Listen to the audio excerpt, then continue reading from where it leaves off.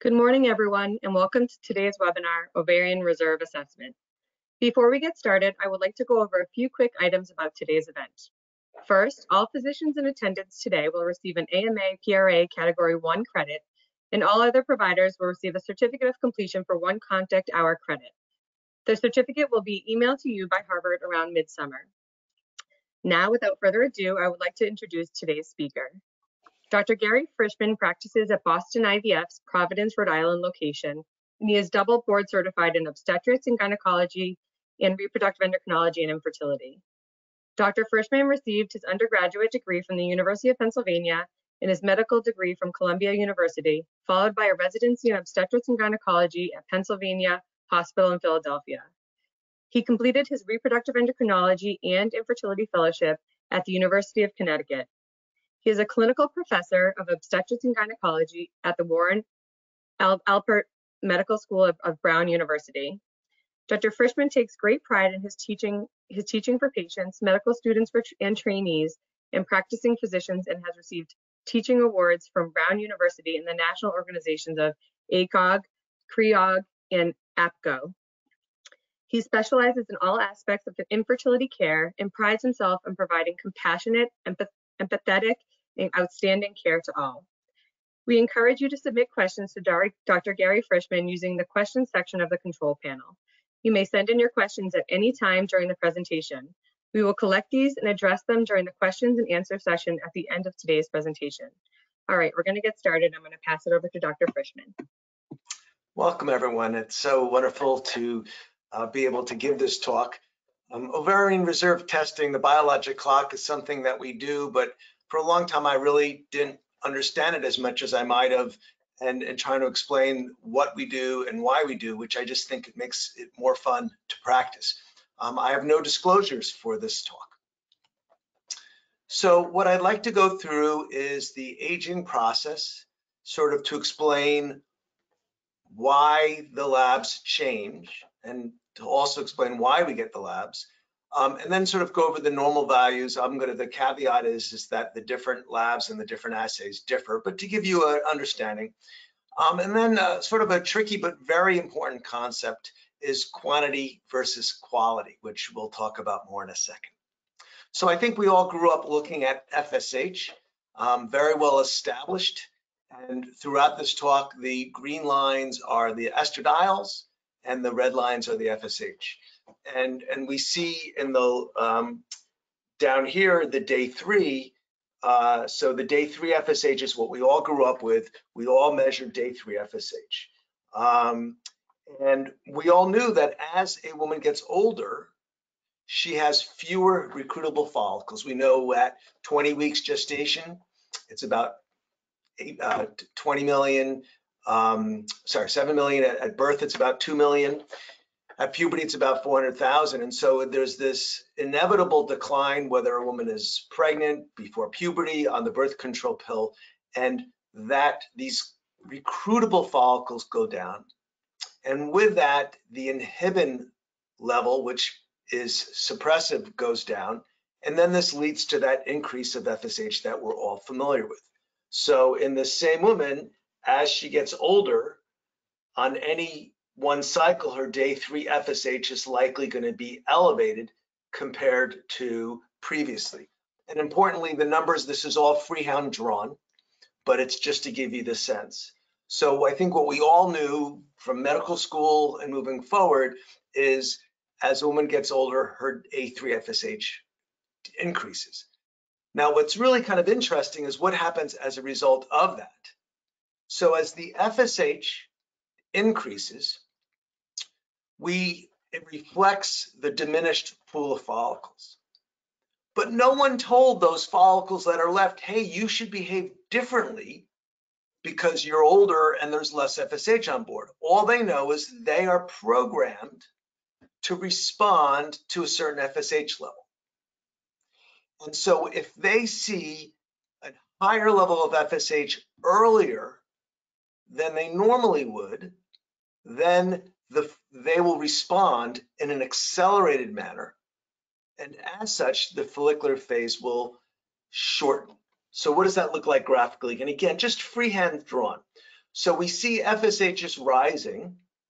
And let's just say that, um, let's just say that this is the level of FSH you need to respond. And since, um, since you're seeing it earlier as the FSH shifts, the eggs are going to be recruited in an accelerated fashion. And as the eggs are recruited in an accelerated fashion, the estradiol curve is going to rise also. And that's why we look at day three estradiol, because as there is accelerated follicular recruitment, the follicles that are able to respond that didn't listen to the message, hey, there's higher FSH, but we still want you to be recruited at the same speed, they get recruited quicker in an accelerated fashion. And as a result, the early cycle day three FSH rises. So what are some of the implications of this? Well, first of all, spontaneous twinning. I, through residency, my early career, I never understood why maternal age was a risk factor for twins. But now it makes perfect sense. As a woman gets older, her FSH rises. The follicles that are there, not many left maybe, but they're the ones that are respond to FSH. And it's kind of like they're taking a little bit of clomiphene. Clomid, they have, see more FSH and you're more likely to have twins. Um, one of my colleagues uh, had three boys, wanted a girl. He and his wife were struggling. What do you do? Do we adopt internationally? Do what do we do? Um, they got pregnant spontaneously, twin boys. So, um, but she was a little older, and so higher risk of twins as maternal age is a risk factor. All of a sudden it clicks, totally makes sense. What's the other profound implication of this? As you have accelerated recruitment and the follicular phase shortened, the entire menstrual cycle shortened. So if we look here, a woman whose cycles used to be 28 days may now be 26 days. And counterintuitively, one of the first things that happens as a woman approaches menopause is that her cycle length shortens. Because I think of menopause and you know advanced advanced reproductive age as you have irregular cycles or lengthening cycles, but in reality, the cycle shortens. And as such, if a woman comes to my office, essentially regardless of age, and she says, I have regular cycles 26 days, I'll say, what were they five years ago, 10 years ago, not on the birth control pill? And if she said, oh, they've always been 26 days, terrific. But if she says, oh, you know, five years ago they were 28 days, they're still regular, but now they're 26 days, that's very concerning because it fits with everything that we've talked about. It fits that this decreased number of eggs, increased FSH, accelerated recruitment. With accelerated recruitment, an elevated day three estradiol, and with accelerated recruitment, and a shortened complete cycle length. So very important, if there's a, you know, less than a 28 day, or even with 28, what have your cycles been off of the birth control pill? But if we have these other parameters, cycle length and FSH, why do we test estradiol? What's the value of testing estradiol? And it increases sensitivity. And I always get confused. What's sensitivity and specificity? And sensitivity is the chance of finding something if it's there. Whereas specificity is the accuracy of the finding. What If you have that test being positive, how accurate is the results? And as a rule of thumb, the tests that we do aren't very sensitive, meaning a number of women that have diminished ovarian reserve will have normal tests, but they're pretty specific, meaning if a woman has an abnormal test, it's likely true as opposed to a false positive. So by ordering extra tests, we're more likely to find an abnormal value in someone who has diminished ovarian reserve. So the extra test increases the sensitivity, it increases the chance of a finding. The other big piece is we all know that estrogen suppresses FSH. And if you have that accelerated recruitment and your estrogen is high early in the cycle, that may suppress your FSH. So if you only measured FSH, you'd have a normal value. So here's a real patient she had a pretty markedly elevated estradiol. This is unusually high, not cancer high, but the FSH is completely normal. And if I had gotten just the FSH, I would have been completely reassured because my test was not very sensitive. And when, and, and in my lab, the AMH comes back later. So I got these results and I'm like, huh. And then the AMH came back menopausal, less than 0.1, undetectable. So if we had only done the tried and true FSH, which we all grew up with, that was the only test that I used to get historically, we would have missed by several measures. So by measuring the estradiol, we both increase the sensitivity of our testing algorithm, we increase the chance of finding something, and then we may have a falsely normal FSH because the estradiol suppresses it. So it's easy, you get it all at the same time. Another big change became what day to get tests. I grew up, it had to be day three. Now, one of the ironies of day three is what's the first day of the period? Is it spotting? Is it flow? Is it full day flow? And there is no one answer. So it's dealer's choice. We, we typically say that it's the first full day of flow and you get your period at 10 p.m. That's not cycle day one. But it's important to know that as with most things in medicine, there's no proven reason, but the key is, is that you want a, a full flow that spotting doesn't count. So, but which day? Does it have to be day three? So this was a study by Hansen way back in 96. The senior author was Steve Corson, who, who was my mentor in residency, uh, still good friends. And what he did very simple, he had his own RAI lab, he had his own endocrine lab, and he just had women volunteer and he drew their bloods days two, three, four, and five in the same cycle. And then he just compared, were the results comparable across those days? If the results were comparable, then you could extend it past day three. And what he found kind of makes sense if you know the curve. And again, this is all freehand draw. But we know the FSH doesn't super change a lot during the cycle in the beginning part. Whereas we know there's that estradiol surge, because we, we learn in med school that the estradiol surge is what leads to the LH surge.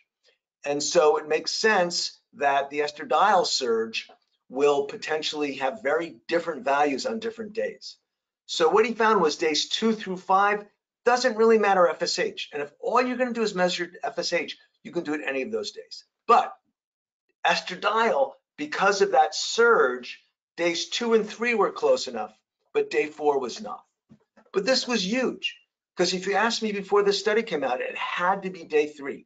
The results were not valid. But now with estradiol, we can get it on day or two or three, and that's really the mantra. That to me is standard of care, day two or three.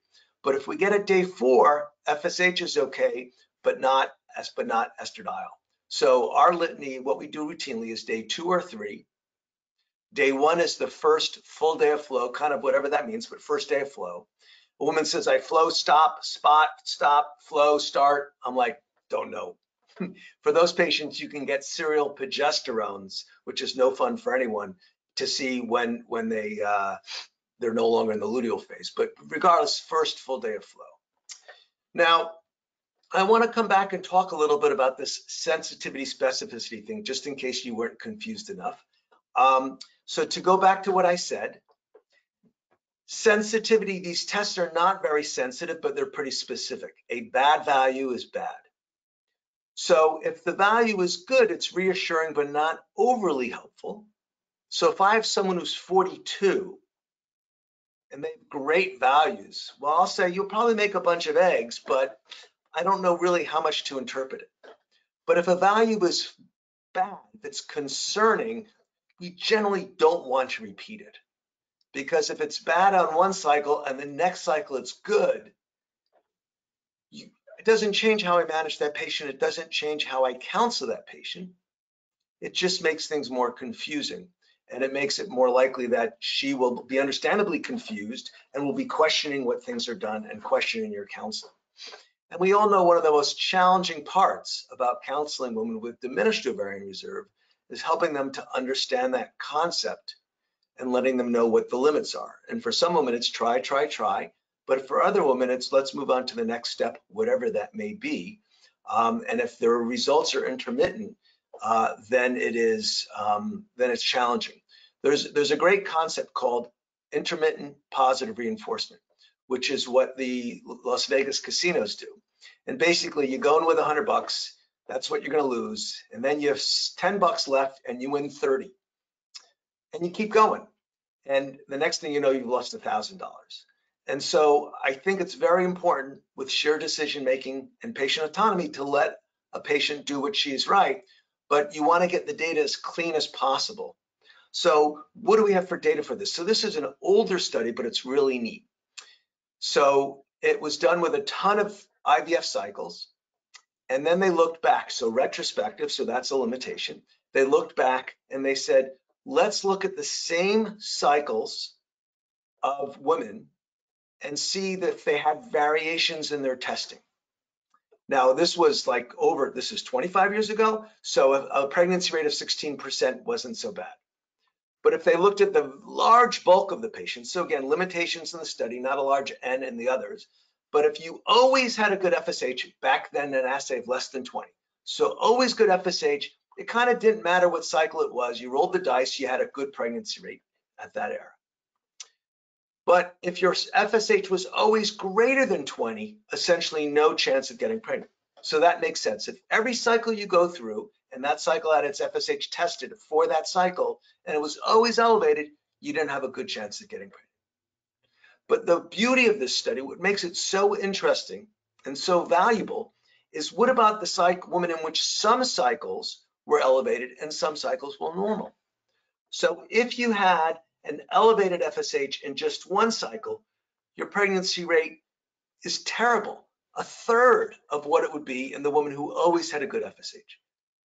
And gosh forbid you had an FSH elevated in more than one cycle, you didn't get pregnant. You behaved as the same woman whose FSH was elevated every cycle. And so this all follows with what I've been saying. These tests are very accurate if they're off. They're very specific, but they're not very sensitive. So you don't want to repeat them. And for better or for worse, you act on the test that's the most concerning because that's likely reflective. I'm, I'm kind of infamous for kind of silly analogies and I, you know, patients have had a bunch of tests that have been, you know, one has been off, I say it's kind of like you drive your car to the store three times and it only breaks down once. You don't say, well, it didn't break down the other two times. I'm good to go cross country. We have to go with the most concerning value. I'd like to touch now on the concept of quantity versus quality. And this is tricky as well. So the sneak preview, the spoiler alert, is your FSH, your biologic clock tests reflect quantity of eggs. Your age, this irreversible changes in age reflect quality. And the way I remember this in my mind's eye is you never recommend an amniocentesis based on FSH. I mean, now everyone gets it, but you recommend amniocentesis historically based on age because it's the age of the egg that reflects the risk of things like Downs. You put a 20 year old egg in a 40 year old, the risk of Downs is the same as a 20 year old. So age is the quality. You can't overcome that. FSH biologic clock testing is the quantity.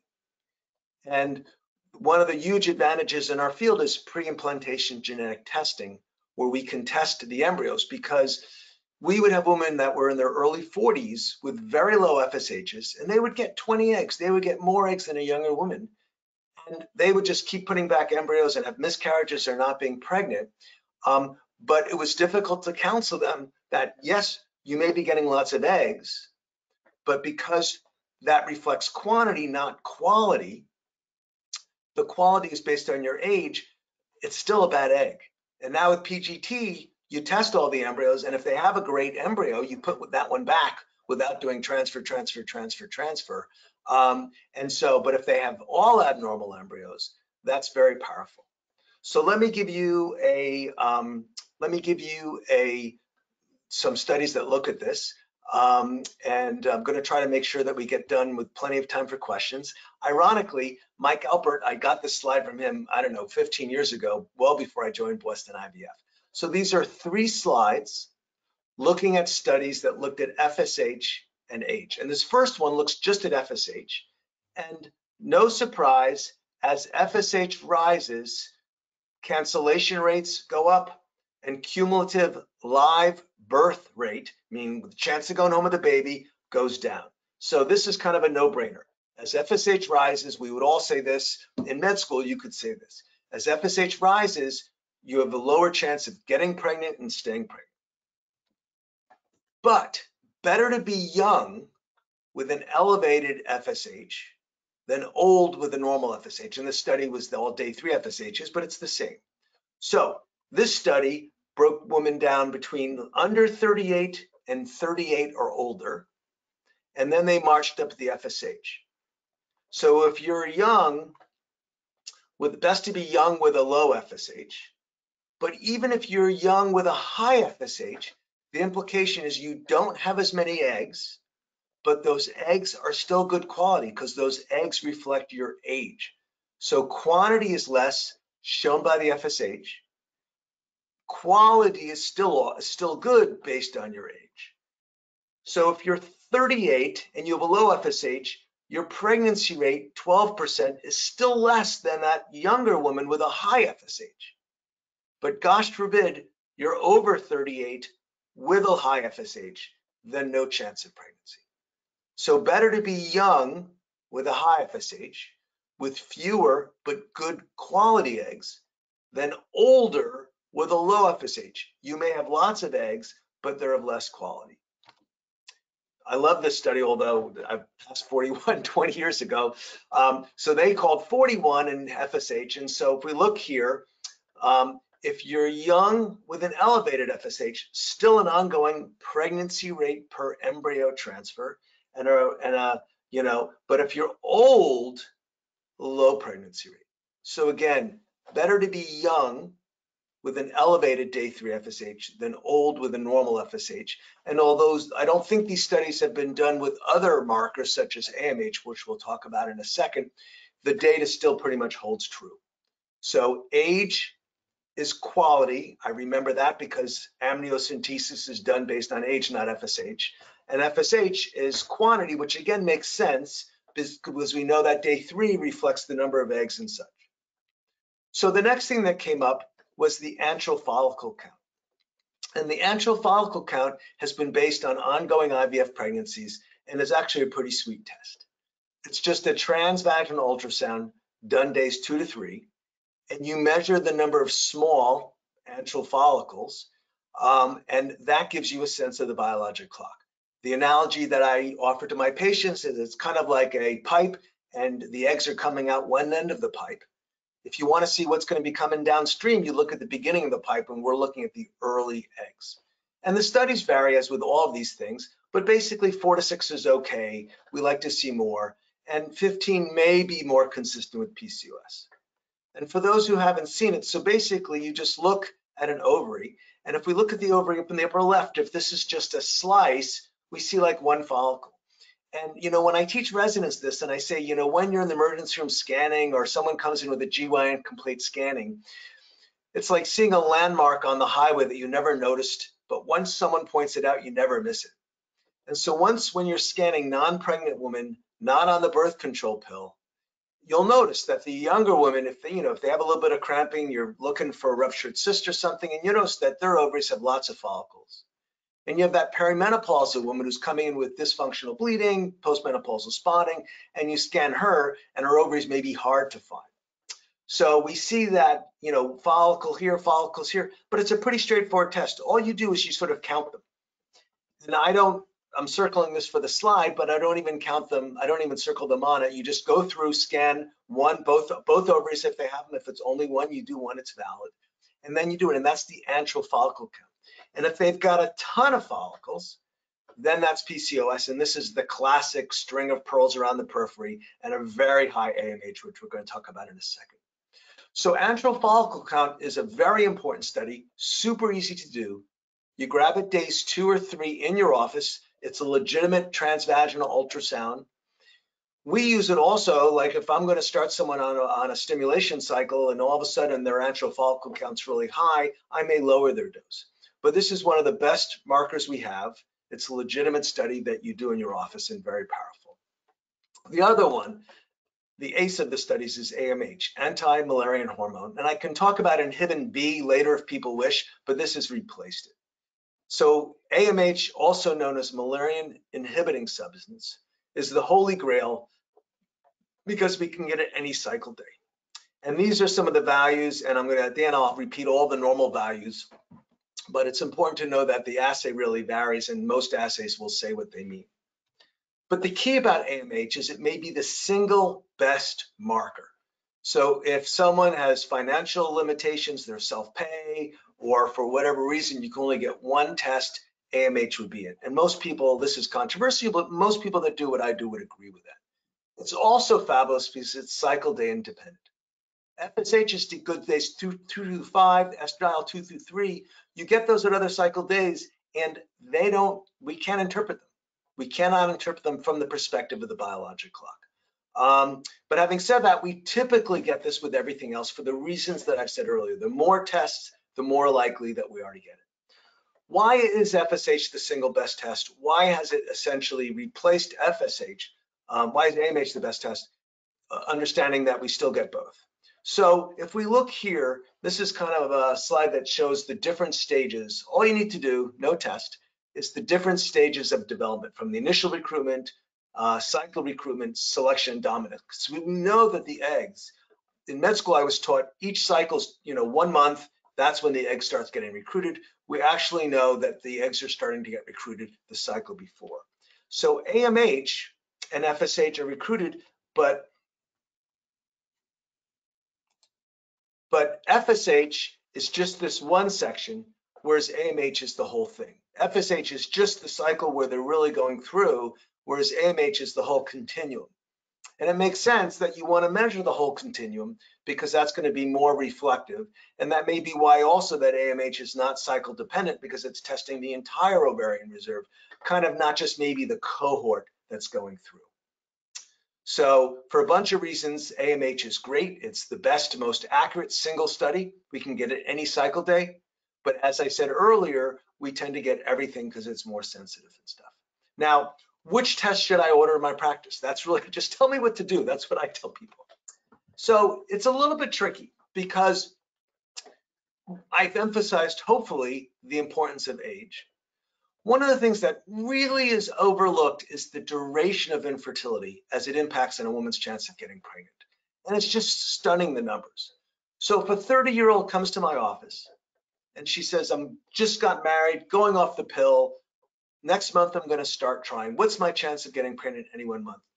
20%, something like that. Another 30 year old comes to my office, everything exactly the same, risk factors, history. The only difference is she went off the pill three years ago and she's been trying, her chance of getting pregnant any one month is 2%. So after three years of trying, you drop to 2%, which at first point is stunning. Like, how can that be true? But when you think about it, anyone who could have gotten pregnant has pretty much gotten pregnant. Importantly, that number is not zero. I always say two is low, but it's not zero, and you could get pregnant during the evaluation of the treatment. But the reason this is important for our discussion today is age is super important, but duration of infertility is also important. And so if a woman's been trying for a long time, even if she's young, I'm going to cast a wider net in my evaluation in general because I'm more concerned about diminished ovarian reserve. So, but if that woman is young and she's got a short duration of infertility, I would probably just get an AMH. Certainly if they were self-pay, I would get just an AMH. We tend to get more um, subspecialists tend to order more for better or for worse. We want to be thorough. Um, and you all are referring providers often get tests to start out with, so we want to flesh it out. But if they're older or a long duration of infertility, I get everything. I get the imaging and I get the antral follicle count. And hopefully that makes sense because the more concerned you are, the wider the net you, ca you cast, even though it costs more. Now, in terms of the values, the big caveat for all of this is it's really going to be the lab. For the FSH, the thing I want you to take home though is a younger woman should have a lower FSH. So if I have a 38 year old in my office and her FSH is nine, okay, I don't really think much of that. That's, you know, consistent with her age. It's not concerning. It's not overly reassuring. It's okay. But if I have a 28 year old in my office and her FSH is nine, and you look on your algorithm and you look on your assay, it's likely going to be that's the normal range. That is concerning. Not scary, terrifying, not she's going to go through menopause tomorrow, but concerning. Estradiol varies based on every test, every study that you read, but low is good, higher is bad. And AMH very much cycle dependent. Um, very high AMHs are PCOS, and there's increasing literature to suggest that high AMH actually has its own issues with getting pregnant, with concerns. Um, and that low AMH, that 0.3, 0.4, the patient I showed earlier, the less than 0.1, the undetectable, those are really concerning because again, AMH is kind of the gold standard. And then the antral follicle count, again, remember, we're getting this cycle day two or three. We wanted more than four to six. We're measuring those small follicles, both ovaries. They can't be on the pill. If it's a big follicular cyst, that's going to suppress it. But, um, but, but so, so, but antral follicle count is great. So sort of just to summarize the key things, we know that as a woman gets older, her number of eggs declines commensurate with her fertility. But as the eggs decline, FSH rises, and that's that day three FSH. As day three FSH rises, the eggs that are still around undergo accelerated follicular recruitment because no one's told them, hey, behave the way as if the FSH wasn't elevated.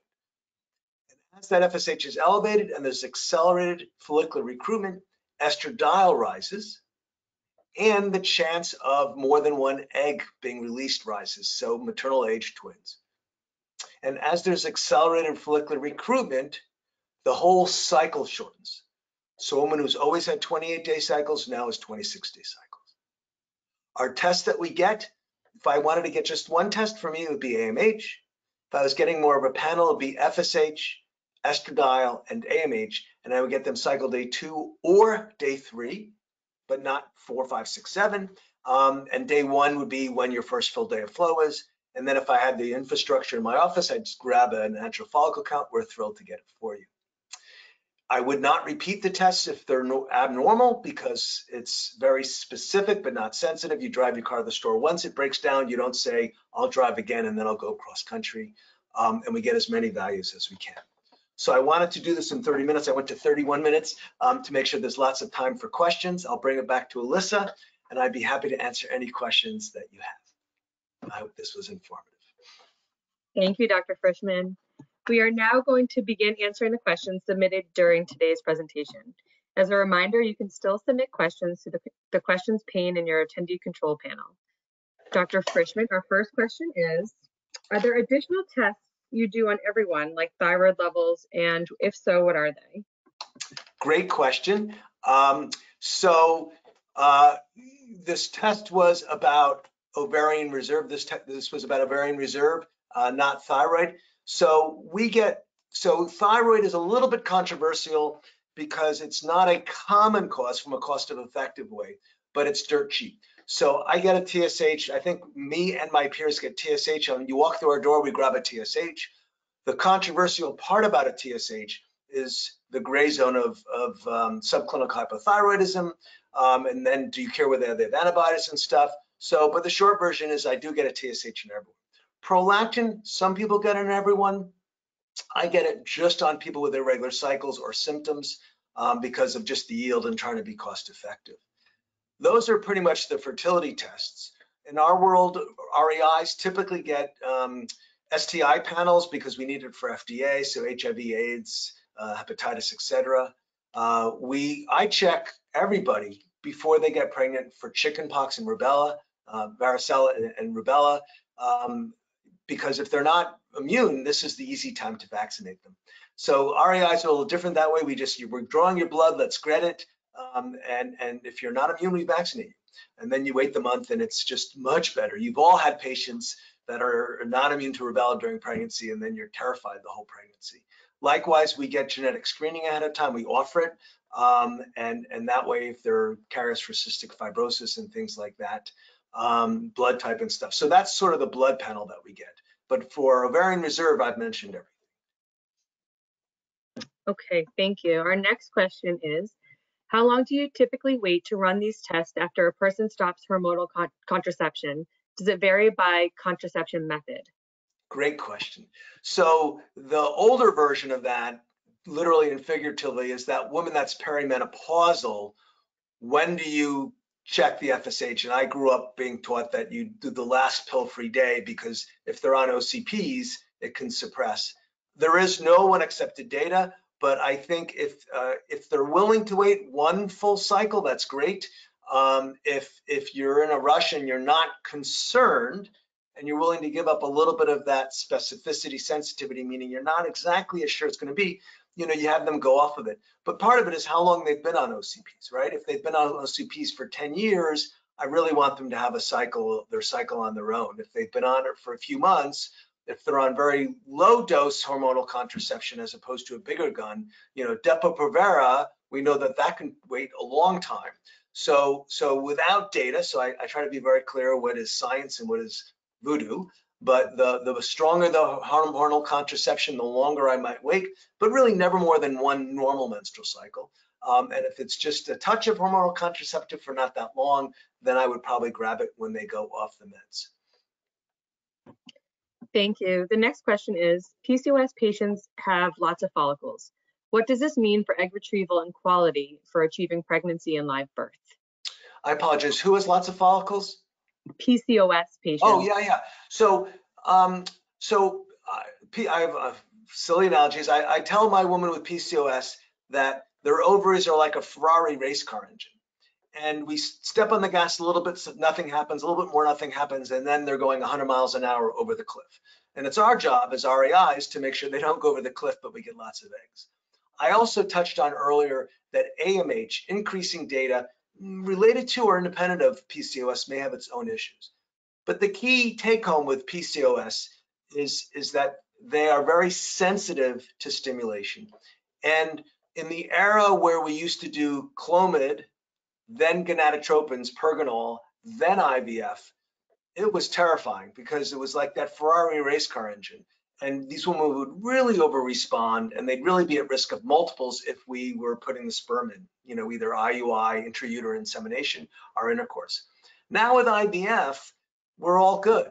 And the single most likely big time issue with IVF is the ovarian hyperstimulation, where they over respond. The Ferrari race car engine kicks in, the estradiol shoots up, um, and and and and that was terrifying historically. And you might have to cancel the cycle. Um, to put this in perspective, an estrogen on a normal cycle might be 250 picograms per ml. Historically with IVF, 1,000, 2,000, maybe 3,000. Above that, I get antsy. Now we can do something called a freeze-all cycle. And a freeze-all cycle is where we take out all the eggs, as many as we can get, always, but then we don't do a transfer. We freeze all the embryos. And we do that routinely when we do genetic testing on the embryos because we've got to send it out and they've got to come back. But if we do that in a woman who's an over responder or what we call hyper responder, such as PCOS, their estrogens are in the four, five, six, seven thousand. I mean, just incredible. And they do okay because they the single biggest issue is the hyperstimulation. So the short answer to your question is with PCOS, they tend to get more eggs. If they're younger, the eggs tend to be of good quality and we either would do the fresh transfer if it's safe, but if they are at risk for hyperstimulation, we freeze all. And I tell these women, you'll never have to go through another fresh IVF cycle again, hopefully, because you'll have embryos and we just keep putting them back and we put them back on a cycle without stimulation. So there's no risk of hyperstimulation. And I joke, I will put back as many embryos as you want, but only one at a time. So we put back that one at a time and the risks of the uh, multiples goes away as well for the vast majority other than splitting. So it's a great question and it's one of the big advances in treating PCOS. This question still has to relate to PCOS. Um, it is if a patient has PCOS but does ovulate, does the quality of eggs differ? So PCOS is a really debated. So we all know the Rotterdam criteria. Um, irregular or absent cycles, hirsutism, and those PCOS ovaries with the high antral follicle count. And one of the big debates is really should we have PCOS women that are hirsute and lots of eggs, extra androgens and lots of eggs, but with regular cycles? because often the younger woman, there's, you know, you take a 18 year old and she's going to have PCOS ovaries all the time because she has lots of eggs. So if a woman has regular cycles, she can be PCOS, but typically, um, you know, we, most PCOS women don't. But that, I think the core question is, is an egg from a PCOS woman meaningfully different than an egg from a woman with regular cycles who's not PCOS, age matched, right? I'd rather a PCOS egg from a 30 year old than a healthy egg, if there's such a thing, from a 40 year old. There may be some difference, but but if we're typically getting lots of eggs, and for IVF, it becomes much less important. And the risk of miscarriage for someone who ovulates with um, someone who ovulates on clomiphene is not meaningfully different. The risk of birth defects is not meaningfully different.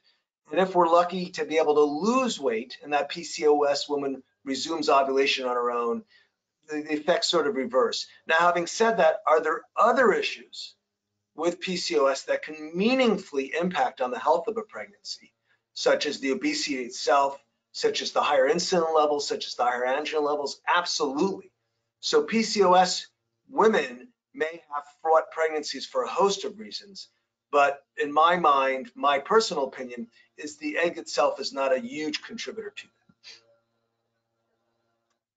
Thank you. The next question is, women with extra long periods, usually around 40 days, confirmed not to be PCOS. Does that indicate slowdown of biological clock of egg quality? So what is the impact of someone who's outside the typical parameters? So if it's, it's unusual to have very long cycles that are irregular, meaning like mo most women in my experience, I have cycles that are 40 days, 30 days, they're oligo-ovulatory. Some cycles are longer. Every once in a while, it's six months. That to me is much, much more common than the woman who says, I have regular cycles, but they're 40 days start to start. Um, those are uncommon enough that there's not really any meaningful literature. Um, irregular cycles in a younger woman is typically not due to ovarian aging issues. It's typically due to some variation of a hormonal imbalance, prolactin, TSH, something that we don't know about. You know, what is the exact cause of, of PCOS? That would be a whole lecture in itself. Um, so, so irregular cycles in a younger woman is less likely to be reflective of ovarian age, although it certainly could be, which is why we test ovarian age. And irregular and regular or irregular cycles in an older woman are, are, you know, they're more likely independent of anything else. We know that the first change as you approach menopause is shortening cycles before they get irregular. For that woman with regular 40 day cycles, I, I, would just go by my ovarian reserve testing and I'd say this is what your biologic clock testing shows. And then even if she has regular cycles, I would offer her a clomiphene or letrozole to shorten the cycle length. If nothing else, if you get them every 28 days, she has a chance every 28 days to conceive rather than having to wait every 40 days to conceive. I hope that answers your question. Thank you. The next question is, how do you manage patients asking for ovarian reserve testing who have not tried to get pregnant yet? So um, it's a good question, and you can expand it. Years ago, um, I, I was, someone did an article on fertility, and I was in it, and a private doc was in it. And the patient, the couple they selected, had gone to the private doc, and they only had six months of trying to get pregnant, young.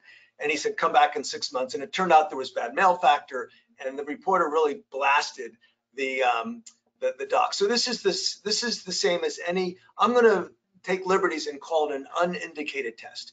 I'm going to assume that her. So one of the single biggest predictors of the biologic clock of menopause is maternal, her mom. So if her mom had menopause at 38 and she's 32, I would test her in a heartbeat, even if she's not trying to get pregnant. Um, if you know she has a sister with premature ovarian failure, if her cycles are shorter but she's not tried yet, I would get that. So, so if there's a risk factor, if there's a concern slam dunk, there's also the group of women who are thinking about freezing their eggs. So this is a new, relatively new thing. The sweet spot, if you had to pick an age, would be 37. If they're before 37, they probably don't need it yet, and there's a decent chance they'll never even use those eggs. But if they're trying to make that decision, that's reasonable. So there are niches where it's very reasonable. I don't know that there's any one standard of care. But if we take the single woman who's like, I'm 25, I'm just anxious, you have to treat that the same you would with any patient who wants the ultrasound, who wants any test. And that's very tricky. We have a dual, we have many constituents. We have society that we don't want to spend too much money on unnecessarily. And we have our patient, and we know very well that some of those patients, they're going to go to another doctor, they're going to leave our practice, they're going to tell their friends, and the other doctor will likely order it. And, uh, you know, um, if you want to get out of jail, I'll say go ahead and test it if you think it's clinically appropriate. Um, but we we all get those questions all the time, and and the most important thing I'd like you to take away is think about clinical risk factors. Family, you know, mom went through menopause at age 38. The niche for the woman who's like, I'm thinking of freezing my eggs. Those I think are clinically indicated. And then the rest is you use your judgment. You know, and the other thing, she's ordering, she's asking for a single blood test. She's not asking for an MRI of her pelvis. There's a clinical reason for it, and it's not overly expensive. So that's a half answer. Hopefully it answers enough. Thank you. The next question is, how do you, oh, sorry. What is the maximal age for reasonable possi possible fertility, male and female? The best possible age, Melissa?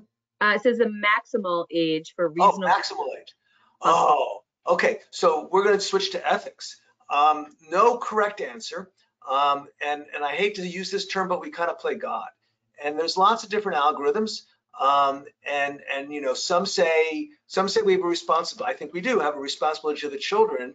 And is it appropriate that when the child hits 10, their parents are in their 60s or 70s? And I've seen algorithms where it's the combined age of the couple that's 100. Um, and as a society, I'm embarrassed. We're biased. You know, we, I have a 60, you know, you see a 60 year old guy with a 30 year old woman and you go, okay, good for him. You see a 60 year old woman with a 30 year old guy and like, oh, that's just creepy. Um, you have to draw the line somewhere. Um, for the male, we don't have a line in the sand. For the woman, we have the appropriate concern of her health during the pregnancy. Um, and, and so we know that when I give my donor egg talk, I say all the risks, going back to what I said earlier, that 30 year old versus the 40 year old. So the 30 year old risk of Downs is one in a thousand, 40 is a one in a hundred. Risk of miscarriage of a 30 year old, I don't know, 20%, 15%. 40, it's it's it's a 40%, maybe 50%, um, and the chance of getting pregnant is much less. Those all go away with younger egg. The thing that doesn't go away is the risks with pregnancy. And you all know this, the risk of high blood pressure, preeclampsia, the risks and the medical issues. So what do we do? I am not a maternal fetal medicine. I'm not an OB medicine specialist. So we want to get clearance. We want someone to say, this person is a good candidate to get pregnant in their 40s, maybe their 50s, um, and, and it'll be safe. And oh, we checked and then we did an EKG if that's appropriate and that came off with stuff. And we may refer in you, our providers, to say that you feel comfortable. Um, so that's one big thing, but we have to draw the line somewhere. Um, so we say for IVF, don't quote me the numbers, I think it's 44 that we just don't feel comfortable using your own eggs because your chance is next to zero. And although, you know, it's money for us, it's not ethical and ethics is everything. Um, if you're using a frozen embryo, so for some reason you went through at age 43 and now it's 10 years later and you have a frozen embryo, or more likely, it's a donor egg, we say add about 10 years to that. So like around 53, again, the exact number, I, I don't know off the top of my head. Um, we we won't put back an embryo in you or, or in you after age 53, your 53rd birthday. Now, uh, we have a fabulous patient care committee where we present where, where the docs advocate for their patients because ultimately each of us on this call advocates for our patient. And so I've got this 44 year old and our cutoff is less than 44, but she's got, you know, low FSH. She went through a cycle before and got 25 eggs and two were PGT normal. She understands the low chance, can she get through? And then we do it as a group. We make sure that we are ethically comfortable and patient safety, right? That's more of an ethics than a safety thing. It's more. Um, and, and, and ethics, there's, I mean, this is a terrible thing, but do you have the financial, you know, what's going to happen to that child if you are, if you pass because you're 60. Um, and, and that's just a big ethics thing and, and about means and such. So the short answer is um, age is everything. We have a lower cutoff for own eggs versus high eggs. We don't currently have an algorithm that says above a certain age combined will take we won't take you. Um, and it's a case by case, and we always advocate for our patients. Thank you. The next question is, is decreased ovarian reserve associated with early menopause? Alyssa, I'm sorry, you're gonna have to speak up. Sure. Is, is decreased ovarian reserve associated with early menopause? So the, one of the big questions is, can we use the ovarian reserve to predict menopause? And the, the challenge is, is there's very little data on sequential testing. So where you test a woman every year, much less every month, and then you see when they go through. We know the average age that menopause starts, the climacteric is 47. We know the average age that people started is 40, is 51.2, and we know it lasts on average about seven years.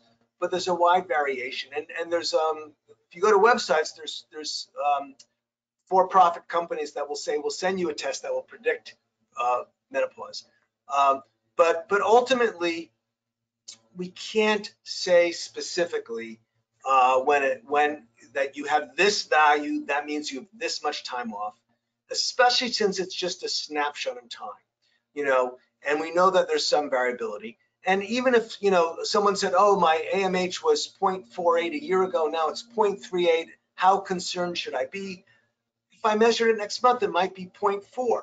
So there's so much variability that we can't really do it, but we do know there's a steady, irreversible decline. Thank you. The next question is about how you mentioned E2 can affect FSH levels. What are some causes of elevated E2 besides cancer or checking after day three? So there, there's something called a follicular cyst or residual cyst where you have an estrogen producing follicle. Um, but having said that, if your estrogen is high enough, you probably won't get a period because um, the estrogen just will will prevent you'll have a thickened lining. So think of PCOS women, anovulatory women. They don't have regular periods because they don't have the progesterone, but that estrogen just keeps on supporting the lining. So, so if I have a really high E2 that's persistent, it's in our world, it's cancer until proven otherwise.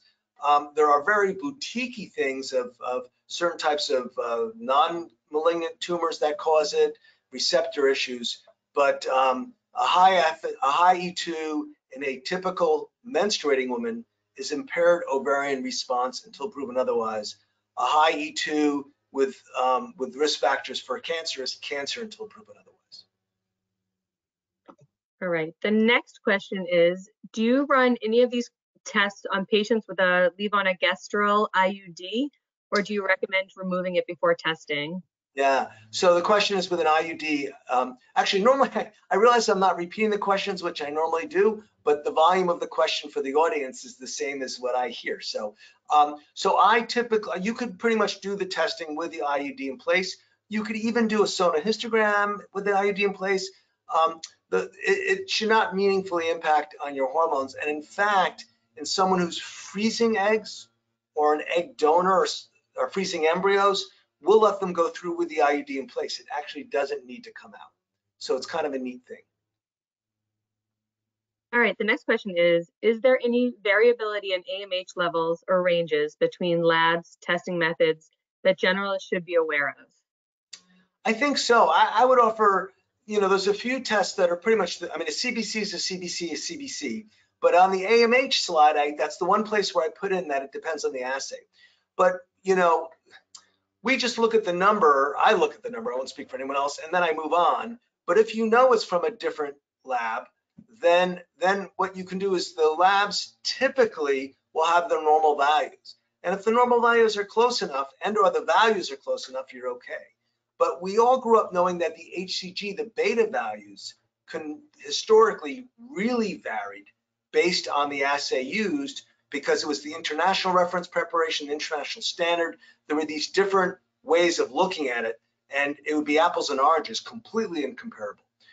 The AMH is not so much, but if you're concerned, go back to the hard copy or the electronic copy of the test itself and look at their normal range. And you can do that essentially with any test. And this is our last question. What is your opinion of at-home ovarian reserve, ovarian reserve testing kits? Helpful and cost-effective or not helpful given the limited clinical picture? Which kit? Just the at-home ovarian Yeah, reserve yeah. test kit? So, you know, I'm embarrassed to say that subspecialists are really uh, skeptical of those types of things. But I, you know, when people say to you, vitamins is a classic thing, it's, they're just not as regulated. They're not as tested. I've gone on some of the websites. They talk about studies. They don't show the studies. Or you look at the studies and it's by the person who invented it and it's their company.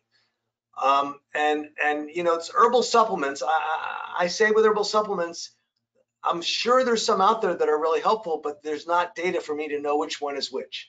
So the short answer is that I do not endorse them. I would much rather have testing in my lab. People bring them in all the time. And, you know, like an LH testing kit, that's really accurate. But these kits, they're simply not the data that I would feel comfortable hanging my hat on. The good news is those patients are pretty amenable to repeating it but I certainly would not, I certainly would not make a decision tree purely based on that. And I would not advocate for them. But as time goes on, you know, as some get more accepted and there's more data, then I might. I actually do have one more question. Please. What about testing progesterone? So um, there's a couple of, of uh, areas to test progesterone. One is just, are they, so I grew up a progesterone less than 10 was a poor luteal phase, higher than 10 was good ovulation. Um, and, and pretty much that's gone by the wayside. Um, progesterone I use in my practice, really have you ovulated, value two, three, either you ovulated or not. And if someone comes in and they have not a period, I preferentially get a progesterone, not a beta. Because if the beta is negative, they could have a luteal phase pregnancy. Whereas if the progesterone is negative, I know they've not ovulated and therefore they can't be pregnant. If the progesterone's positive, I can then run on that specimen of beta. Um, and if the progesterone's negative, then it's I give them Provera. If it's positive and the HCG is negative, I say, well, you'll get a period. I don't need to get give you Provera. Um, I used to get progesterones for the quality of ovulation, um, and I, have actually done a study on this, um, and, and we don't do it anymore because it's it's produced in a, in a cyclical circadian fashion, pulsatile fashion. And so any one value is not very meaningful. If someone wants it, I joke, well, we can draw your blood every 30 minutes over a day or so and average them, and then it's very accurate. Um, so, so, and then, and then Stovall, if the older people in the crowd remember that years ago, we used to get progesterones for ruling out ectopics. And if it was less than five, it was either an, it was a non-normal pregnancy, either a pending miscarriage or an ectopic. And if it was over 25, we knew it was a healthy, viable IUP, and then the rest was a gray zone. But the real advantage was the less than five, you didn't have to worry about interrupting a viable pregnancy. You could do your D&E, D&C, MVA, or things like that, or give methotrexate. But we subsequently realized that progesterones are all over the place, and women with low progesterones can have normal, healthy pregnancies. So progesterones had a lot of promise in my era. I personally, clinically, pretty much only use it as have you ovulated? I don't get it on a routine workup if someone has regular cycles. Importantly, if someone has irregular cycles, I still don't get it. If it's positive, okay, I caught you when you ovulated, but I know you're ovulating because you, you get your periods every three to six weeks, not every three to six years. And if it's negative, okay, I caught you when you didn't ovulate. Either way, I'm going to look for causes, and either way, I'm going to treat you with clomiphene or letrozole. Thank you. That was our last question. Thank you, Thank Dr. you all so much. Thank you, thank you everyone for attending today's webinar on ovarian reserve assessment. If you have any other questions, you can contact myself, Alyssa Cooper at ecooper at bostonivf.com. Once you leave today's webinar, you will receive a survey on the presentation and we would appreciate it if you could complete the survey and provide your feedback to help us with future educational webinars. You will also receive a follow-up email within 24 to 48 hours with a link to view a recording of today's webinar. On behalf of Boston IVF and Dr. Frishman, thank you for joining us and enjoy the rest of your day. Thank you, Dr. Frishman. Thank you, Alyssa. Thank you, everyone.